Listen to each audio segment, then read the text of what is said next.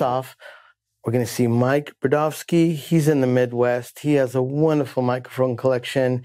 He also produced the new Deerhoof record. Do yourself a favor, go check it out. It is just ear candy. And his style and technique has a lot to do with why I even wanted to have a show called Manny's Mic Locker because I was so blown away by his style. It really motivated me to make sure that we could share um, new recording techniques, how to use mics. Some of these aren't vintage, they are hard to find, but it's for everyone. You can definitely find a mic in any budget to make this happen. Manny's Mic Locker. Number two, let's go. We're off to see Mike and we're off to see the wizard. I called you. What's yeah. going on? Okay, I know you have a sick console, but for right now, we're going to censor that. Let's get straight to the meat and potatoes, man. Tell us about your mics. I'm stoked to be on the show. Thanks for having me, Manny. I do have a mic problem. Pretty pretty serious yeah. mic problem. Yeah. I don't know if you can. My buddy Will uh, Will here is shooting, and so Manny, I'm probably far away from the camera you're looking at, but so here, yeah. um, see, I just stepped on one. That's that's how insane it is. So let me explain what's going on here. I told, I told, I texted you today. I said people are going to think I know what's I'm, going on there. There's a problem. Yeah, That's what's going there's on. There's a problem, a serious problem.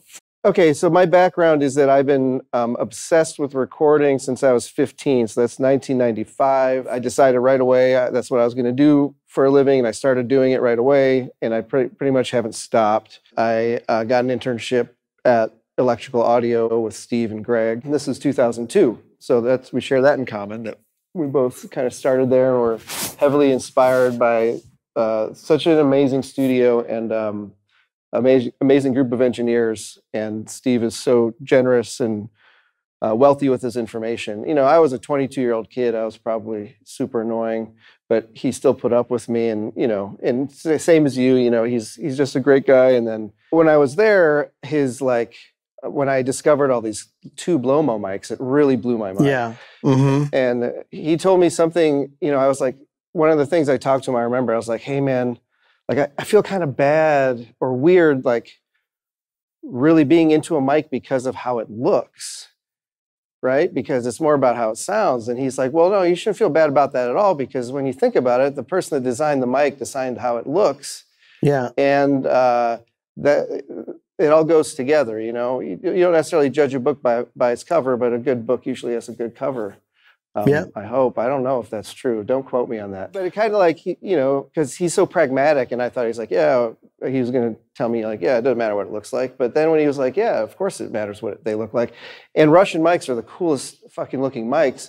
And then I did learn after, you know, over the years, you know, first it was just like, oh, I put a mic up, how does it sound? But now, you know, I understand I've gone deep, right? Like I know every tube, yeah. transformer, yeah. Uh, the type of capsule, why it sounds the way it does, how many microns thick, what's the polarization voltage, why is it is the power supply regulated, unregulated, all yeah. these things that that go into it, and then discovering that the design of these Russian mics, although it's inspired by a lot of the German classics, the Russians were definitely doing their own thing, and they look different and they sound different, and they're my some of my favorite mics. I choose them despite having so many of the classics. You know, mm-hmm. we have a C a vintage C12. We have a M49B. They're great mics. You know, we have KM86s. We have Sony C37As, and uh, we can talk about Japanese mics too. And I use them, but uh, I'm really, always really quick. When was it that you started accumulating all these mics? Like, when did you actually buy? What was the first mic that you spent a lot of money on? And you were just like, oh my God, like that's a lot of money. But I see that you have a wicked, I can see the power supplies behind you, and we're talking, you can't even find those mics in one building, yeah, and here you are, you right here. Supplies? I mean, so tell me, like, how did you even go about that? Or was it because of Albini being hip to those certain mics that those are the first ones you went after, like Sony C37s? Lomos, no, no, like... the order is different. So I remember my first time buying a uh, professional mic. Uh, a professional mic. I was in my dorm room and I got my first credit card. It was 98. It was a Discover card. And that Discover oh, card fucked me up for life, actually. Um, right. I finally got over that problem. And I think it's this first SM57, if I think about it. I had a $100 mm-hmm. limit and I got a SM57. I thought, this is it, man.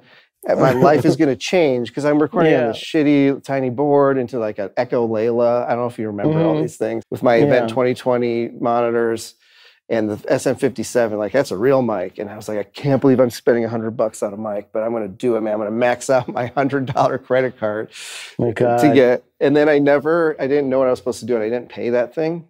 So that SM57 mm-hmm. ended up costing me like probably thousands of dollars oh, and a horrible credit score. And then it's, uh, we don't have to go into that. But I like the thought of that first SM57 really. But then after that, you know, I got deeper and deeper and I got really into the Russian mics.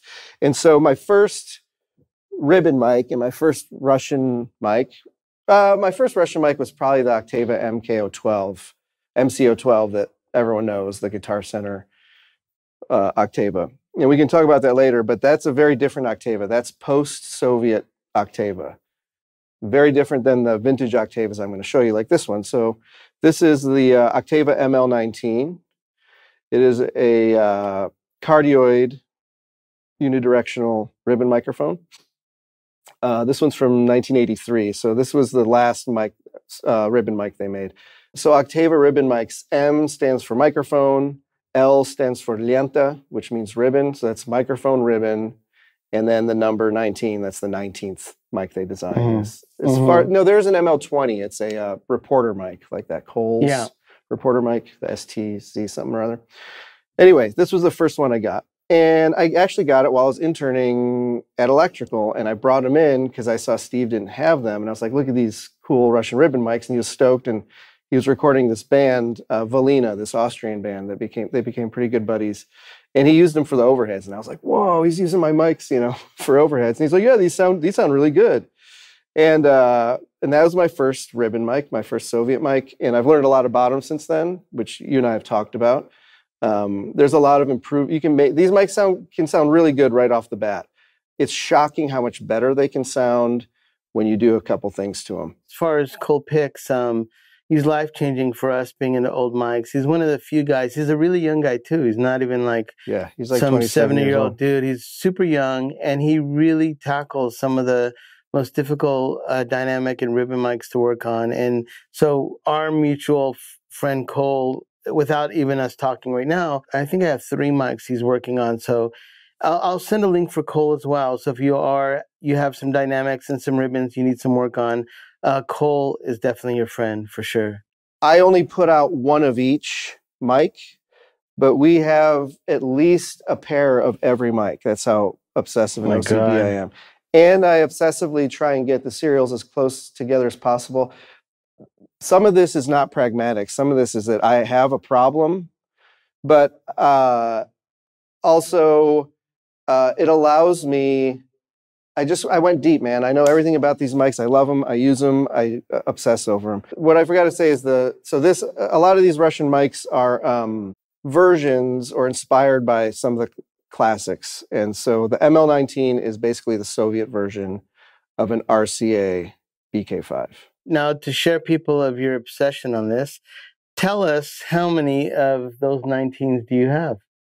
Oh, well, so th- that's not about the obsession. That's because uh, I had the opportunity to acquire 45 new old stock oh my ML19s oh um, from God, a buddy dude. in Belarus. So I have like over 20 years of collecting Russian mics. Uh, I know, and I speak Russian, which helps. So I know all these guys, and I've developed friendships with a lot of them, and especially my my buddy Sergey in Belarus he and I are we're just buds, and he always is like, "Hey, look what I found. Would you be interested in those?" I was like, "Yeah," because uh, I have the super special project I want to do with them, and if anyone is interested, it's going to be there's nothing like it. It's going to be really eye opening for any mic enthusiast, and to really see how important, um, even with a brand new ribbon mic, these were made cheaply.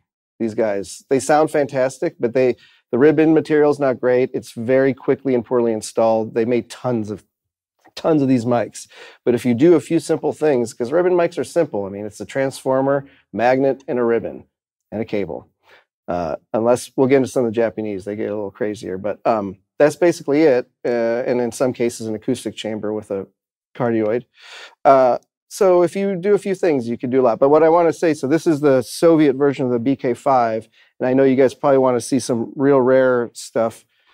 We're never going to get through all 250 insane mics here, obviously, but this is one of the rarest uh, Soviet ribbon mics or ribbon mics that I have. And uh, this is a an ML18. Oh my god! Wow. So the ML18, they made 20 of these. Uh-huh. Uh, and it is two ML19s in one mic to make it hyperdirectional. So almost like a shotgun mic. Now, wow. The ML19 is a copy of the BK5, which everyone knows. The ML18 is a copy of the BK10, also known as the, Ber- the Perry Como mic. They only made 200 of them. You can look up BK10, and it is two BK5s in a row for picking up Perry Como's voice on TV because he sang so quietly. And it was hyper directional boom mic. And so the Soviets literally took their copy of the BK5 and made a copy of the Perry Como mic, which is one of the rarest RCAs, to make their version of the rarest. So uh, this is one of my favorite mics to this day. Now it gets a little confusing here because the one I'm going to show you is not the one I bought. So some people may have seen this. These are vintage Octavas, and some may wow. be labeled IRPAs. Those so, are beautiful. Oh yeah. Well, and it's like if it was called Norelco, you would think. Yeah. So the one I got looked just like this, and this was before mm-hmm. I knew mm-hmm. anything about it. It was on eBay, probably 300 bucks, and it said MK13 tube mic. I didn't know any better, multi-pattern tube mic, and wow. so I got it. And it was my, I think, no, it was 800 bucks. Mm-hmm. And that was the most I'd ever spent on mic. It was crazy. This is 2001 or something. Is that the like C12A copy version of, of that? Is so that's that what, what a lot of people say because of the shape of it, but it, yeah. it's actually a, a, uh, dual diaphragm M7 glue-on style capsule. Mm-hmm. Um, so it's a multi-pattern M7 style capsule. So it's uh, it, it does not follow the AKG family. It's more of a uh, a Neumann style mic. Um, but this MK this is the MK13M. The M is actually a T in Russian, and the T stands for transistor. So this is actually the MK13M is actually a transistorized mic, and it uses germanium transistors, which give it. So the one I bought had been modified to be a tube mic. It had been modified to be this, which is the real MK13. So it's the long body version to accommodate the tube. Um, but my first one was a modified MK13M. Since then, I learned this was supposed to be transistorized. This is a real transistorized version, and it's one of my favorite mics because the germanium transistors really um, saturate and compress. You know, people think, oh, tube mics like compress because of the tube. Tubes have a lot of, uh, uh, if they're not biased properly, maybe, but most tubes, tubes have a lot of headroom, and a lot of the compression people associate with tubes is actually from an unregulated power supply, so that when the uh, amplitude goes up, the, uh, the power supply sags, and the tube voltage goes down, and it's sort of a natural compression. Um, but the tube itself has a lot of headroom. But these germanium transistors in here, they saturate and break up very subtly, sort of like how a distressor distorts. It doesn't really distort, it like saturates a bit. Um, and you can put them on anything, and you don't have to use a compressor. Kick drum, vocal, mic, guitar. It's awesome. In this mic, it's not extreme. Like it's really high fidelity. It's not like lo-fi. But you, even you look at the waveform, and it's like, oh, you know, the, the transients are being chopped a bit, and it sounds great. It's like you don't have to do anything with it, and that's where mic selection comes in, right? So if you're looking for those, are they still? Do you see those around still? The ones that are transducers, not the tube? Yeah, so uh, I, I have restored, uh, I have seven restored ones. They mm-hmm, require a mm-hmm. lot of mm-hmm. work. So the capsules are usually in bad shape, they oxidize pretty easily. The power supplies, uh, a lot of the capacitors blow up in the supplies and the switches. And then, so you can find them, but I have yet to come across one that works perfectly. I have yet to come across a single vintage Rush Soviet mic or maybe any mic. Any mic, yeah. Vintage, no matter what someone says, perfect service, whatever. At least to my standards, for it to be working exactly as it should. And this is my yeah. big thing. Like a lot of people out there, and I, if if you're one of those professionals or whatever that's made a billion records and you say this stuff, I'm not trying to start an argument here, but a lot of people say, uh, you know, vintage original capsule man, they all sound different. You got to find a good one. The reason the vintage mics are sounding different is because they're 60 or 70 years old. The mylar has stiffened. So much shit has happened to that mic. It's not sounding the way it should. I'm not saying it's wrong to love an old mic that sounds different because that's the sound you love. That's great. But a lot of people are like, oh, reskin capsule, you know, it's not the same. If a capsule is reskinned properly the way it should be with the right thickness of diaphragm, the right diameter, everything's done properly, tensioned right, the backplate's tuned if needed, whatever, done exactly how it should be, it will sound exactly like your vintage U47 did the day it was made, you know? So like it won't sound the same as a 70, 60 year old U47 because it's not 60 years old. This is uh, the 19A9. It's probably the most recognizable Lomo mic.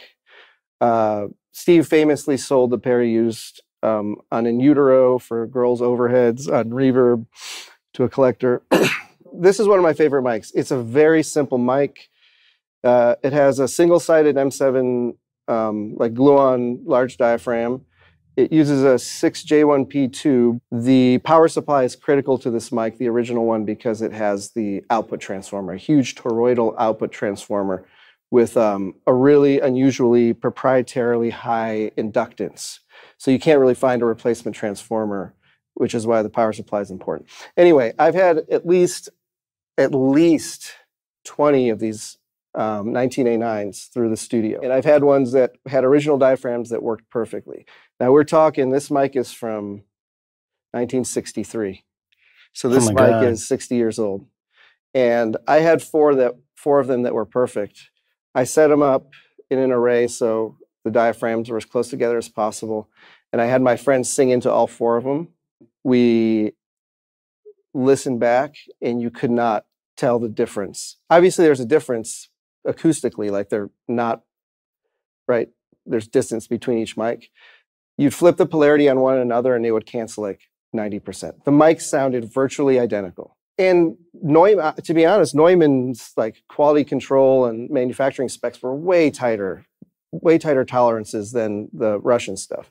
So anyway, there's real mic experts that can say more to that. Uh, you know, I work with John Peluso very closely. I don't trust anyone else with my Soviet mics. He's done hundreds of them. So along here to my right are all condensers, tube condensers and uh, solid state condensers, and they start from timeline uh, with tube mics going all the way with all Soviet mics on the top, and then down here we've got AKG C12, Neumann M49B, and then it goes through the Neumanns, then through all the Sonys, and then through all the others. And then down the middle here are all the ribbon mics with all the Soviet mics, the Toshiba Japanese, the Aiwa Japanese ribbons, the national Japanese ribbons, and then all the other nationalities. We got Coles and Tannoy from the UK, Melodium from France, and then RCA, uh, and then the modern AA mics over here.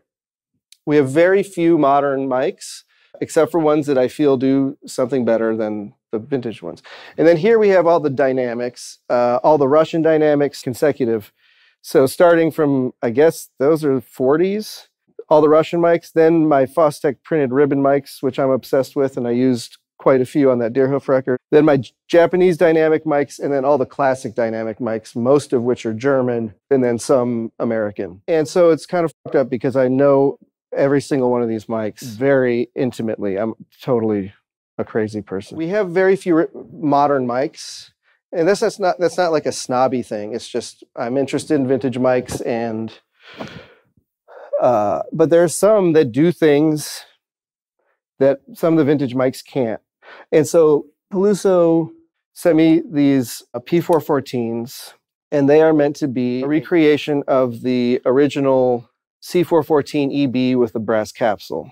This here is a C414EB with a nylon capsule, but from the outside, they pretty much look the same. And this I is, had one with a nylon and it sounded amazing. So they sound amazing. They sound different. You. Yeah, but they, they yeah. sound amazing. They're a little brighter, more present. Um, it seems. Um, but and you can look up. They, there's frequency response charts. They definitely have a different sound, but they're great mics too. Yep. And this is his P414, which is a brass capsule reissue. You probably can't see the brass capsule in there, but um, they're incredibly affordable, especially when you consider what a brass capsule 414 goes for. And no, Peluso is not paying me to say this. I'm just a fan of this mic. Um, he sent it to us to try to demo out, and I was like, sure. And I put them on toms, and it was like everyone at the studio was blown away. It's like that's the best tom mic we have. And then I go back. I was like, no, no, no. I've been using all these other mics for toms. Nope. The Peluso is like, it's like, wow, this is incredible. When I find something that works every single time, I just mic, use it. It, it. And so he's gone over like some. There are some improvements. Like it's got better self noise. It's got more headroom than the vintage one. The polar patterns are in a different order. I think. I don't know why. Yeah but it's really sturdy. It has been hit. I'm not precious about that stuff. And uh, it works every time. And that's honestly what you need, right? I just got this one back from John, and it's a big one for me. So I'll bring it out first. And if Sylvia's watching, she's going to be stoked to see it. So uh, this oh, wow. looks like a C37A. Yeah. But it is a CU1 it's not made by Sony technically. It's made by Tsushin Kogyo. I don't know if Will can get that close. Was that listed as a Sony C37 or was it just listed no. as that brand? It's Tsushin Kogyo. So the history is that Tsushin Kogyo is the name of Sony pre, I think it's 59, and then they just okay. changed it to Sony. But this is serial number 12. It, I'm not going to open it up now. I open it up, I got it. It has the same very simple uh, cathode follower circuit with a 6AU6 tube inside, same, but the capsule's different. It's pre mylar, it's pre polyester, I think, and it had a 58 micron thick copper diaphragm, which means it's one of the earliest smoke. condenser mics. Um, it's obviously a precursor. I'll just show you the C, a classic C37A for reference that they are obviously um, related. So this Peluso actually found 48 mic. So 48 microns to people that don't know, 48 microns is very thick. I believe, and I always forget, but I believe most modern capsules are like five to eight microns thick. And so 48 microns is incredibly thick. And he tried wow, a thinner, he tried a thinner uh, diaphragm, but it would get sucked into the backplate. So the way the mic is designed, it requires a thick, thick because there's so much voltage pulling on that, you know, like yeah, yeah, you can, so you can, you can shoot a hole right through your uh, capsule. Don't get addicted to mics out there, but if you do see one of these, you should grab one because this is serial number three. So there's at, at least two more in the world that have existed since the year 1961 in Soviet Russia. So I doubt there's another one. It's sort of a Lomo. We won't get, go into the complicated history of Russian mics, Soviet mics. Let's just say that it, Soviet Russia is not a capitalist society. Obviously, it's communist. They didn't make stuff for resale, really, or export. Um, they made stuff for the people, which was really cheaply, poorly made. And then they made stuff for governmental use, for cinema, which was their most coveted form, art form, um, as Lenin famously said, uh, and orchestra recordings, opera and for and speeches, obviously. And for that stuff, they made one of a kind, sometimes five of a kind mics for the Kremlin or for like governmental use or for whatever their main orchestra hall was. And mm-hmm. so that's mm-hmm. what this is. So Lomo was a factory, not a brand. That's what people have to understand. Octava became a brand in the 90s when um, communism fell. But before that, it was a, the Octava factory. So the reason uh, all these old Octava mics are ribbons is because the Octava factory was responsible for making dynamics and ribbons. The Lomo factory was responsible for making condenser and tube mics. But this is pre, it's not that it's pre-Lomo, it's this is was made by hand by the research department. This is the Len, this is Len Kinap. So this is, that's Lenin's Kinap, which is uh, cinema, whatever. So this is Lenin's special, like really small department research department that designed mics for cinema. And this is one of three, and it's a precursor to the Lomo 19A14, but it's called the KMD2. KMD are the initials of the engineer that designed the mic, and I, for, I forget his name. Um, and so the Lomo 19A9 that we looked at before was originally called the Lenin, the Len Kinap KMD1, and this is the KMD2. Now, here's the fucked up thing about this mic. This is a tube mic. Look at how small it is. It's like the size of the capsule. If you were to open it up, you'd see a sub miniature tube behind the capsule, one capacitor and the capsule. And then, like the 19A9, the power supply houses the output transformer and everything else. So they basically designed like possibly the smallest. I'll show you the 19A14 that um, Lomo made, the Lomo factory made based on it. So this is the 19A14. And it's basically a 19A9 without, with a different tube. It uses a 631B and the capsule is similar, but it has a, a, resonant dead like back diaphragm, whereas the 19A9 has no diaphragm on the back. It's just one-sided. So these are all things um, that make slight differences in the sound of the mic. These mics have a little more high end um, and less proximity effect. And the Mo 19A9 is a little richer, like a U47, and has more proximity effect and is a little what you would call warmer sounding, for lack of a better so, term. So, when are we going to get the Russian recording handbook on microphones? And you're going to put all this down in paper so we can walk around and carry it with us. You know, we want to have a mic menu that uh, you know, like electrical sites, very useful. Like I, yeah. I, used to reference it all the time. Like this Me sounds too. like this. Well, like uh, I can tell you now, like exactly what mics are designed to be like. In this mic menu would have a photo of the mic, say that have the history of the mic. It, yeah, not just that it sounds like, but it is quite literally a copy. And in a lot of cases here, and this is the big thing that we should talk about, is especially with the Japanese mics. We all know the Japanese; they're meticulous yeah. And they will take an idea and they will improve it. They will make it better. All our cars are Japanese cars because they they do it better, man. They uh and so all these Japanese ribbon mics that are influenced in some cases almost identical copies. Yeah. You can even ask Cole, he's like, man, this Japanese RCA 44A copy is sounds better than the RCA. I'm like, I know. This is a good transition for me to talk about like Russian, Japanese, whatever versions of the classic mics, whether it's a ribbon, especially with the ribbons, I think is the most uh, stunning comparison. Like shockingly, like whoa, that's obviously a, ja- a, Japanese version of a BK5. I thought it might be fun if you say like a classic mic, and then I'll find you.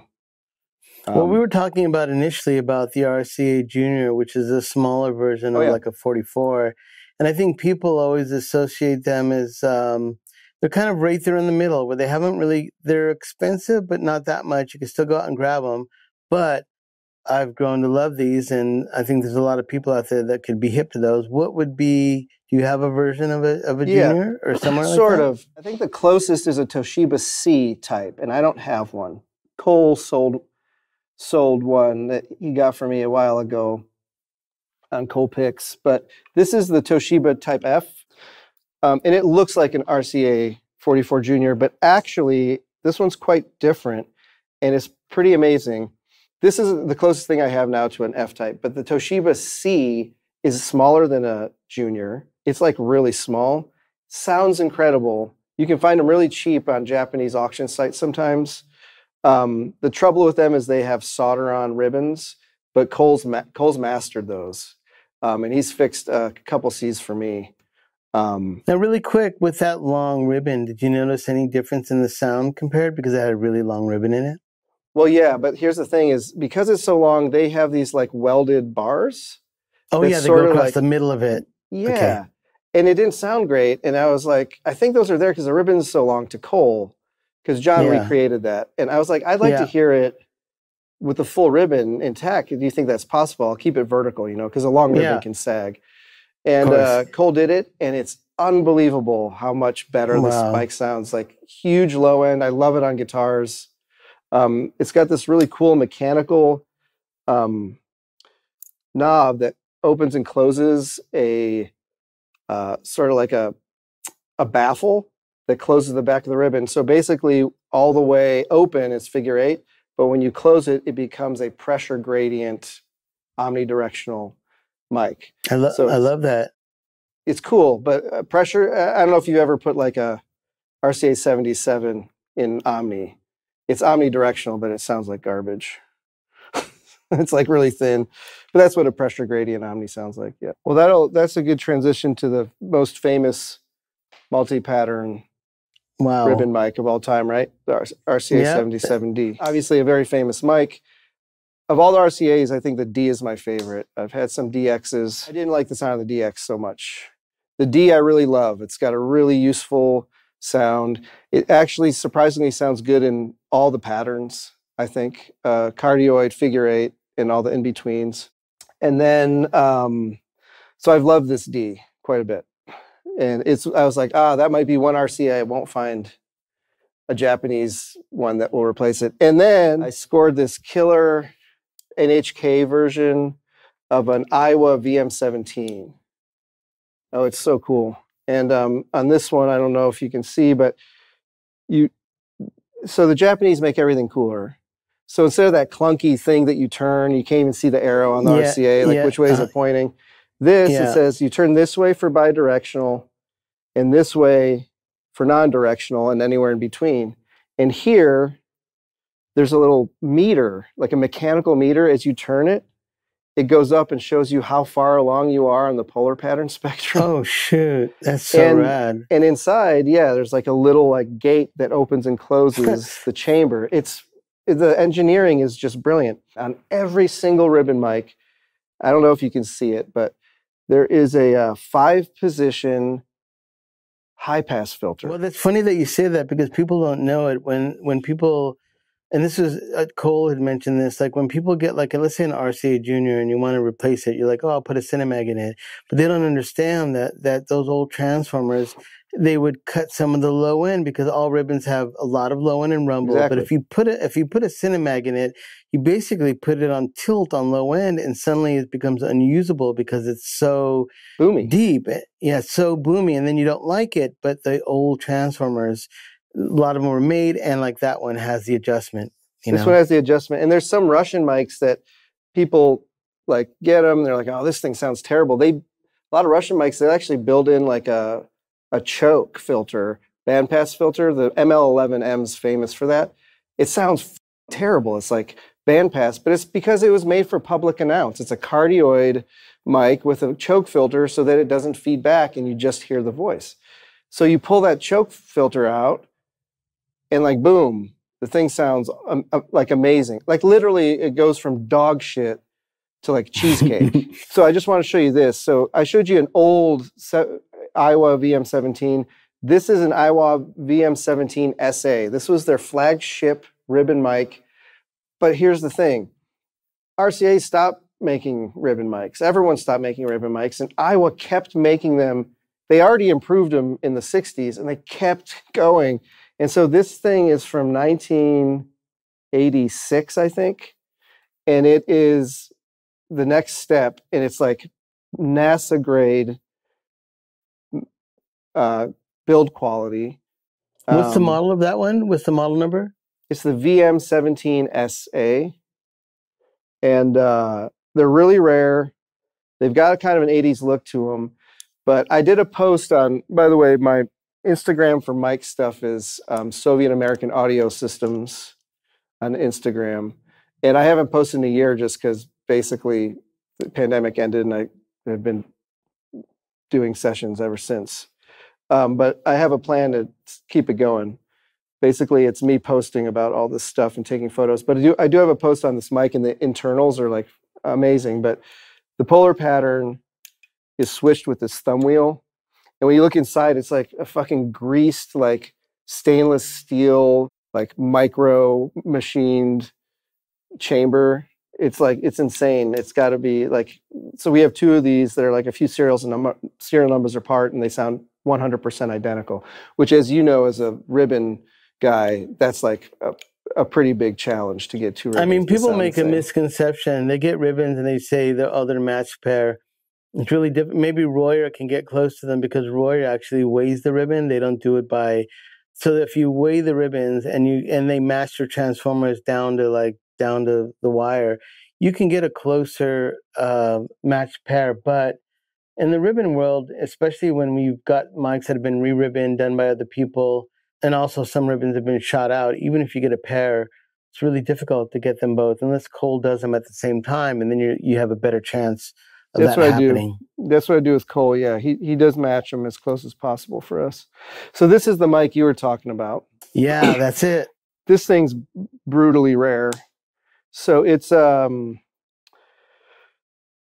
so like I said, the Soviet mics, this is ML11B. So ML is microphone ribbon, ribbon mic. 11 is like the design. So this is the ML11B. There's also an ML11, which I don't own one, and I really desperately want one. So remember, there's no companies. There's just factories the and factory, factory. Factories and departments. So this department is MRTP. So if you find Okay. a Soviet mic that's MRTP, IRPA, KINAP, those are all of like the bureaus of design and manufacturing. Those are like the highest end. The transformer in this mic is like this big. Um, it's way overbuilt. They maybe made 30 of them. No, it looks like 100. This one's serial number 94. It's from 1956. So this is a Soviet version of a 77, but in cardioid only mode. It doesn't have a polar pattern switch, but it does have the chamber in the back with the tube that goes down through it. And uh, Peluso worked on this, and the mic is this mic. You heard it on that. Is so bright. It sounds like a condenser. And I don't know if you've ever seen or heard uh, RCA 77A. Um, No, the no. huge. They, they're crazy. My buddy at No Fun Club, the the studio I designed in Canada, he's got a 77A. They're like this big, man. Wow. They look when you oh, it's uh. So if you look at the Deerhoof video, No, I know which one you're talking about. I actually had one of those. A buddy of mine had one. It was massive. It looks like a.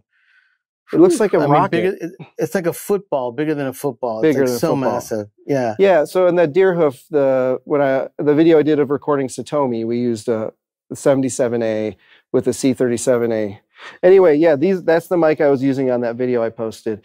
And um, the original transformer, here's another thing. Everyone's like, oh, big old transformers, man, they're better. Not always, or it depends what you're going for, but the mic was really bright with that transformer, too bright. Peluso put in his transformer. I kept the original in there. It's just a matter of resoldering the wires. When it came back with his his ribbon transformer, which I like quite a lot, it's a big secret uh, that people might not know about. His transformers sound good. His ribbon mic transformers. Uh, the mic came to life, man. Like shocking. The low end was even, not overwhelming, and uh, it really balanced it out. So um, that's the mic that you were talking about there. Oh, and here's an example. This is so. This is the Octava factory made the ML11, which is the same, but this is the ML11M. And this one is pretty rare. It's not nearly as rare as that, but this is the one that has the choke built into it.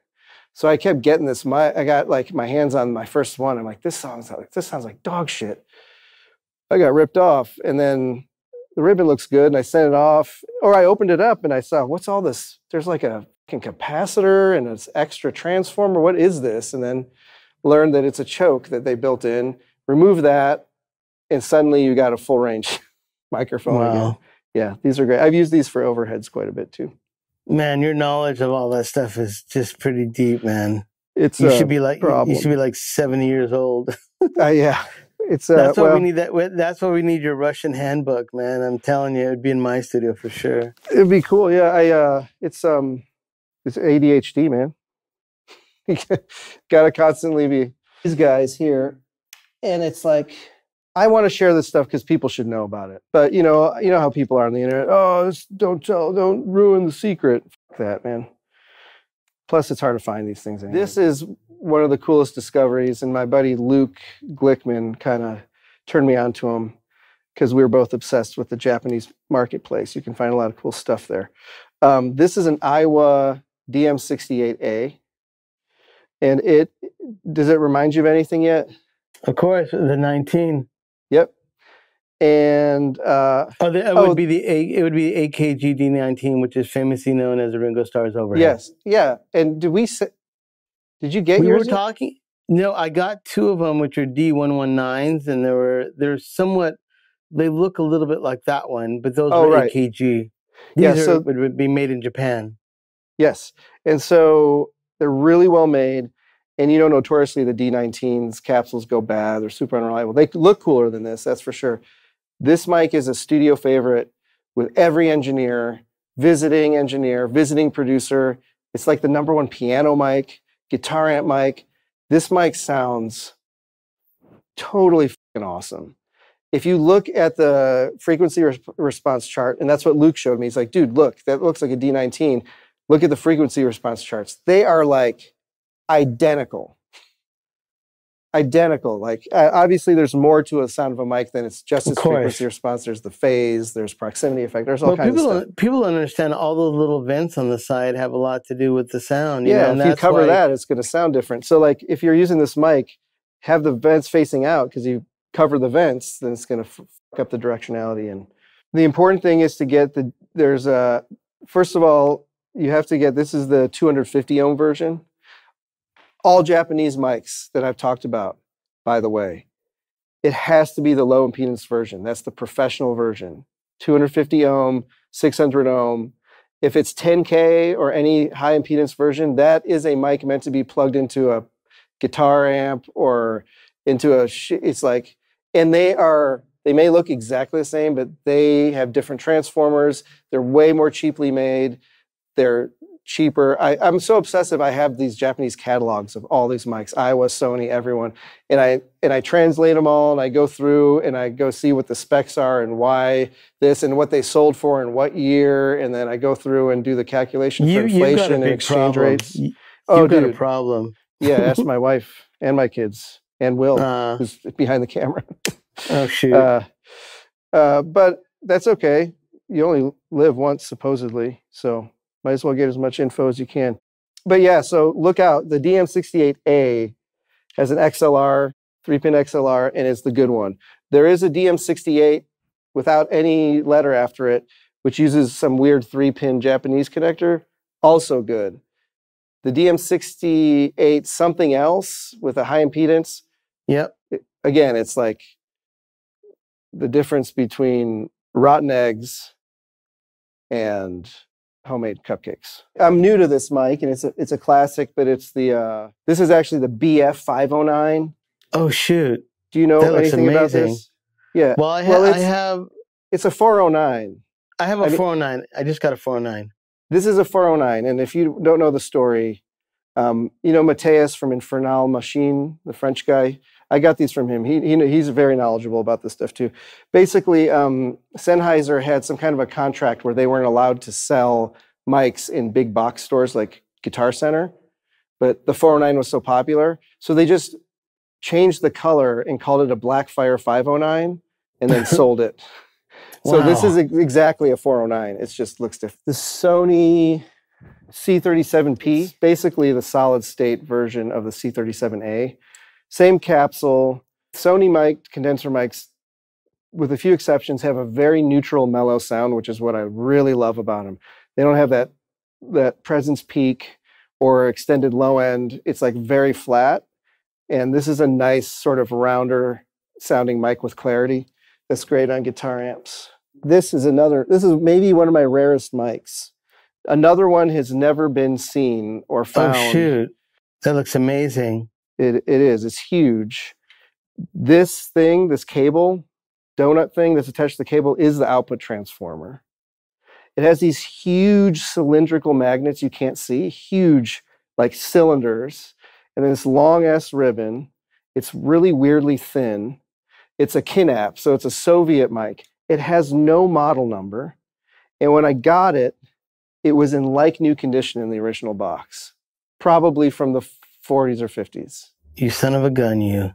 And where do you use that one on the drum kit? So this was a this was my go-to outside. I love large ribbon mics for outside kick. A lot of people freak out about it. They're like, "What? It's going to blow the ribbon." If you're careful, I put three pop filters in front of it, and I make sure it's not in yeah. front of the hole. It's the wind blast that bust, busts the ribbon. Um, otherwise, it can handle a kick drum for a while, you'll have to replace the ribbon, but you got to do that anyway. People don't realize I even put a pop filter in front of um I had a dynamic. I had a Beyer uh M88. Oh, well, okay. no, no, it was a, it was a TJ X50. Yep. And it used to pop a little bit, and I would put that. Or uh, sometimes M88s are known for being low endy, but you can start to buckle those. And I'll put a pop filter in front of them, and it really does help. You know, even well, in M88s, M88, I've had two M88s blow out on a kick drum entirely as dynamics, so definitely useful. So anyway, that would be another popular. Now for my inside kick mic, and I'll go ahead and bring out my new favorite snare mic. Sorry, I'm, I'm talking loud because I'm walking away from the camera, but I realize I'm wearing a lav. So then it seems like I'm yelling for no reason, and that's explaining why I'm doing that. Here are uh, my new favorite dynamic mics, Manny, and you can find these cheap. All right. Yamaha. Yamaha MZ204.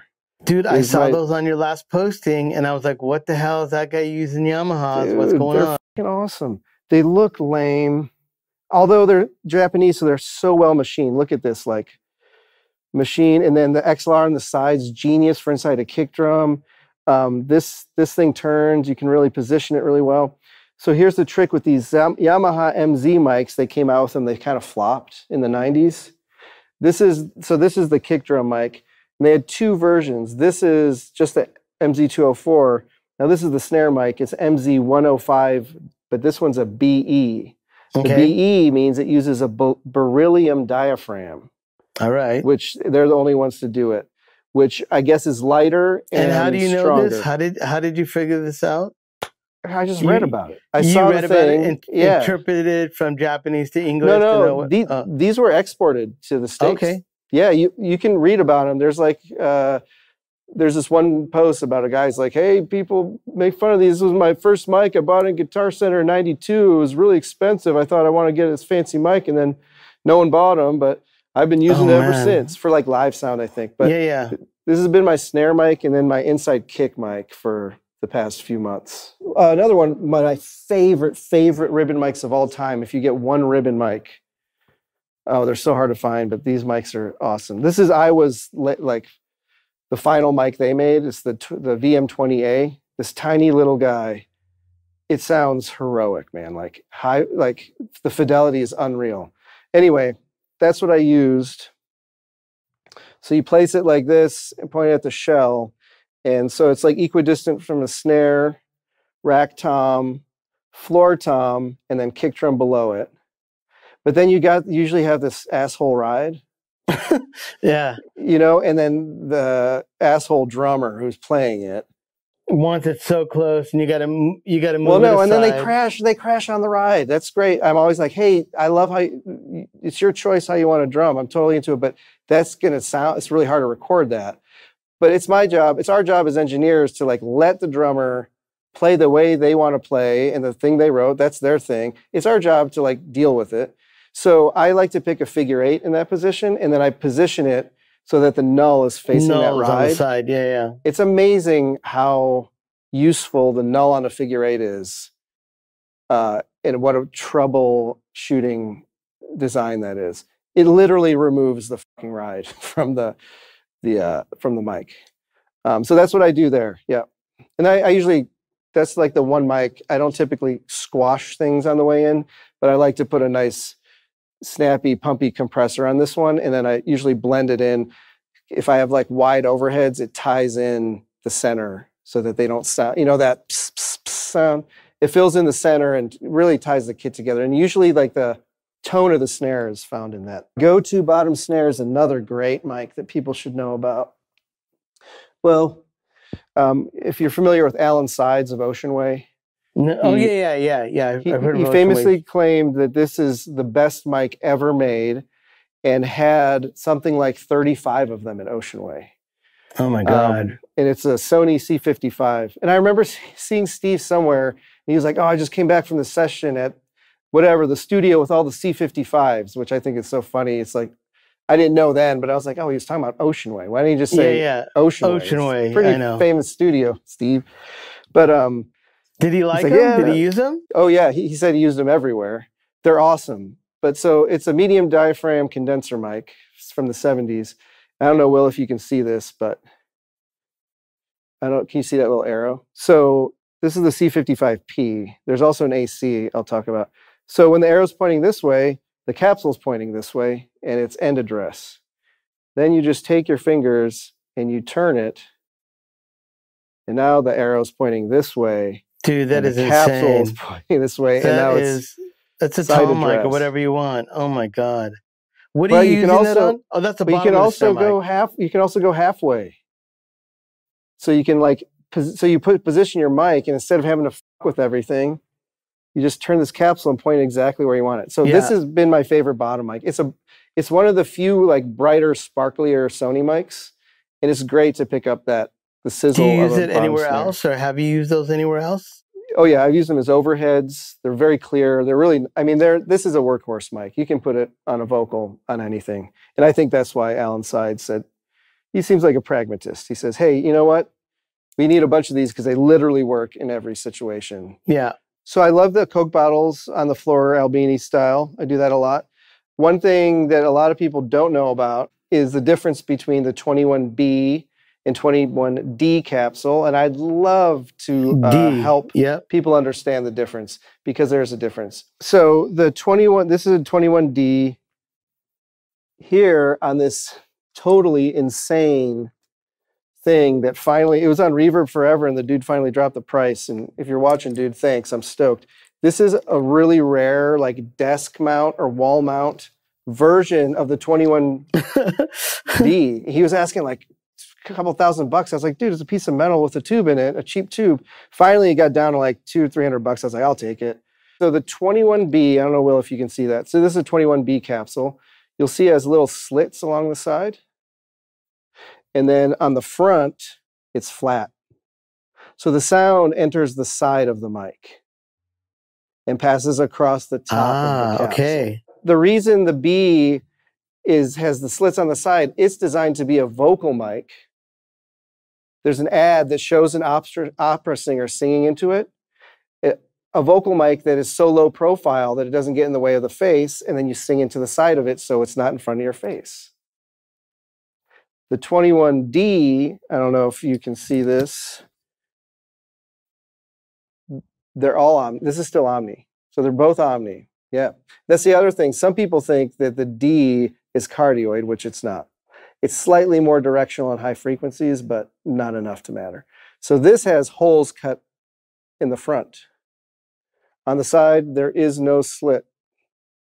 This mic sounds for general recording, room mics, overheads, maybe the most beautiful sounding mic I've ever heard with a 21D.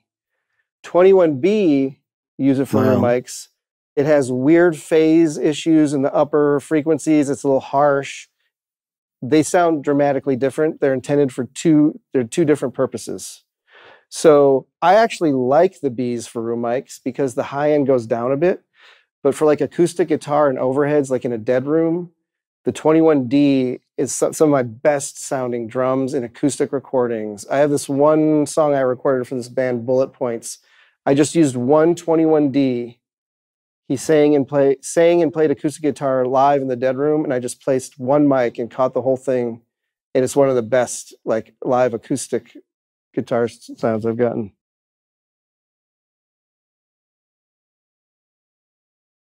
Hey guys, I'm Cole and I own a business called Cole Picks Vintage where I do repairs on ribbon and dynamic microphones.